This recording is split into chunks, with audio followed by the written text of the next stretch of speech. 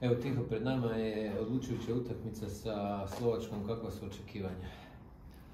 Pa, utakmica je odlučujuća, ne? E, sa, sa pobjedom i nerišenim rezultatom vjerovatno prolazimo dalje. E, sa Slovacima smo imali, mislim da od kad sam ja u reprezentaciji, četiri susreta. U sva četiri smo izlazili kao pobjednici, ali moram reći da svaka utakmica je bila teža od one prethodne, tako da kao da nam se sve više približavaju.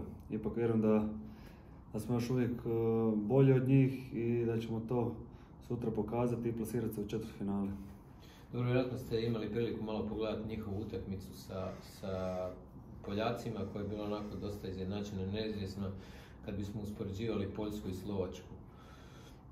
Kako vidite to? Pa mislim da je, ne mogu reći sad kakvi su tu odnosi snaga, kako je bolje, mislim da su te utakmice stvarno 50-50 može otići na jednu i na drugu stranu.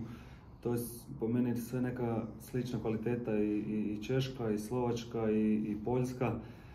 Tako da su to reprezentacije kod kojih smatram da smo mi bolji, ali ne toliko da bi mogli pobijediti bez ponovog angažmana. U karijeri si igrao puno odlučujućih utakmica. Kako se pripremiti za jednu takvu utakmicu? Pa ne znam, nema neke posebne pripreme. Bitno je da, da budemo spremni, da budemo uh, kao prvo mislim da ne smijemo pocijeniti protivnika, ali opet moramo biti svjesni svoje kvalitete i izaći na teren, biti hrabri, vjerovati u sebe i vjerujem da ćemo E, pobijediti i plasirati se u četvrtfinale. Hvala. Hvala vama.